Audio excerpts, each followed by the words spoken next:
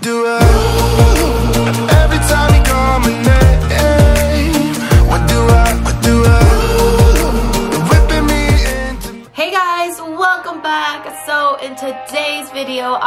On a 14 day diet. Now this was because I have a show coming up in Europe and I really haven't dieted since pretty much last summer. So I really want to look good for my show and kick off 2020 in a healthy, motivational year. So I remember when I first did my ever, ever like worst extreme diet ever. It was when I was preparing for my first ever music video. And I remember like the company, they told me that I was not looking in my best shape. So I only had two and a half weeks to my music video first ever and I was like in a rush to lose weight. And I remember in that diet, I starved myself. I remember I ate like this much of spinach, like literally half of half of half of a chicken breast. And I lost a lot of weight, but I was so depressed. I was on the verge of like passing out and I was so unhealthy happy. So this was the plan for my diet. Number one was write down my goals. My goal was to have a flat stomach and also to make some abs. Of course, in two weeks, there's no way I could make like a perfect fitness trainer ab or anything like that, but I just wanted to have a little bit of abs showing. Number two, I did not really care about the numbers of my weight. Next, the reason why I chose 14 days, two weeks was, so two weeks is a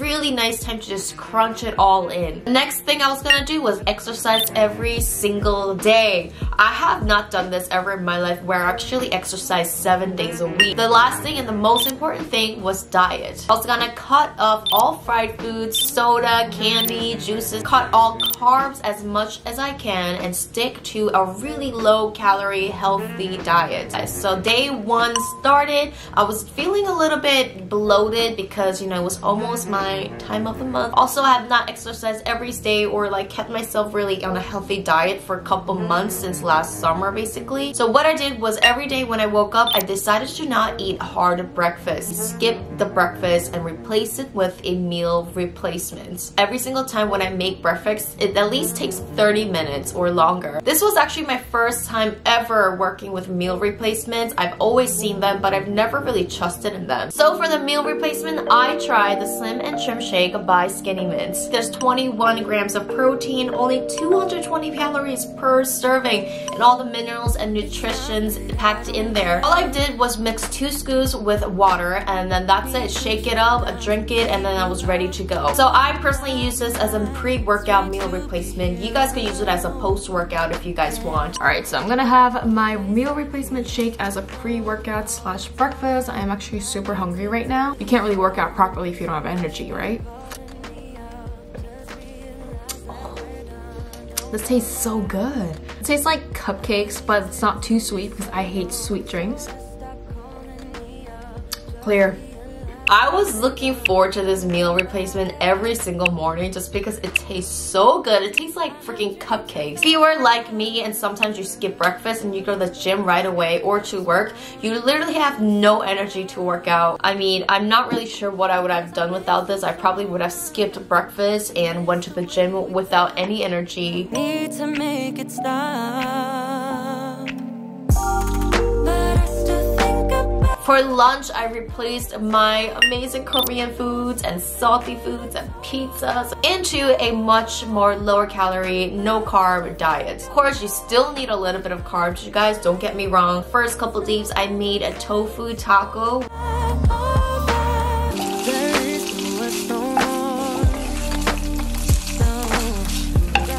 Alright, now it's looking pretty golden brown, so I got this taco seasoning.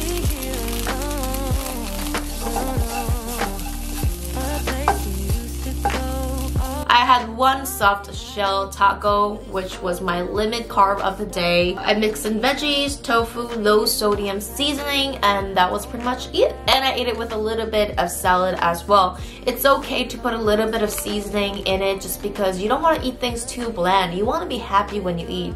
Other days I had chicken breast with Brussels sprouts and some other days I made konjac fettuccine which is like a vegan plant gelatin. Obviously it doesn't taste exactly like the real pasta but it really does the trick. If I personally made avocado fettuccine where I mashed up some avocado, put a little bit of salt. I miss the way we touch, and I need to make it stop.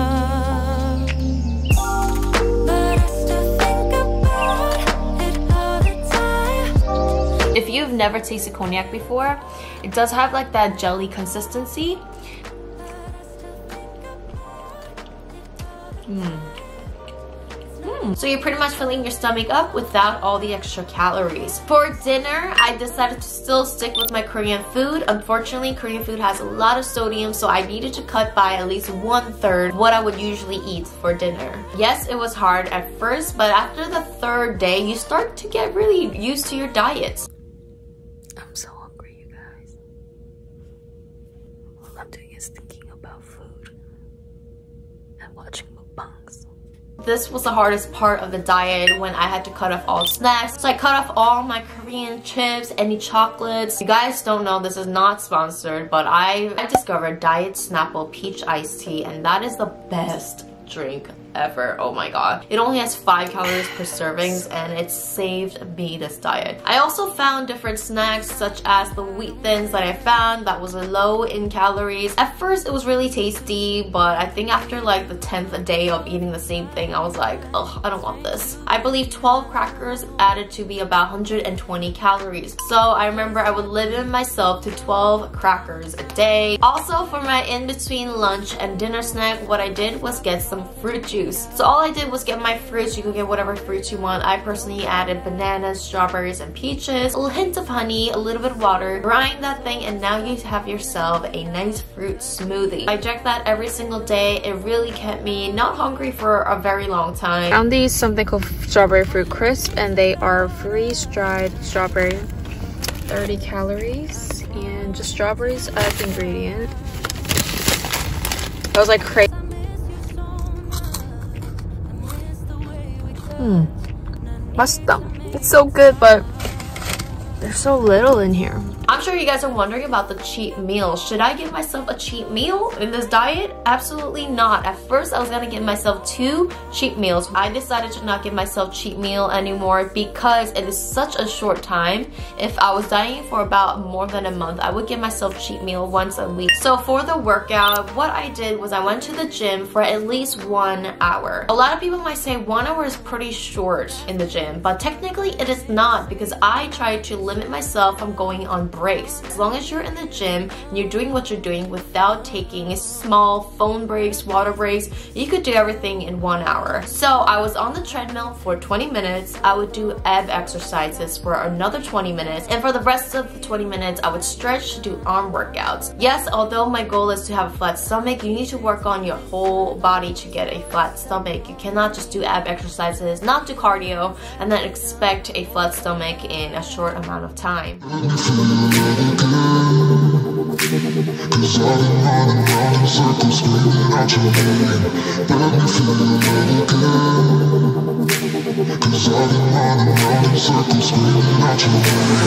Let me feel your love again. Cause I've been running round in circles, screaming out your name. Take me to a different place. Just the two of us, and we can stay up all night. Kissing under streetlights,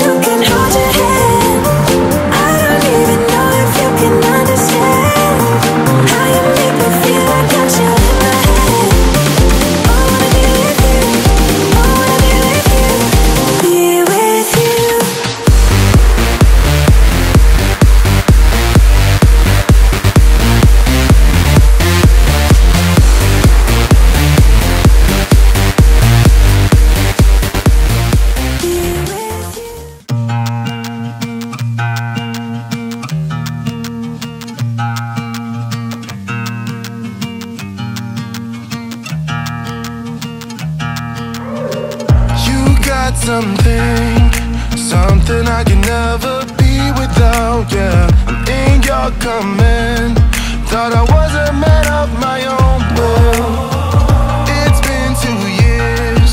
I'm only a shadow of the good on me now. A breeze in my ear. Cause you know I cannot say no to you Feeling like home. But should it be like this? Locked up in your dome. You know I fight later,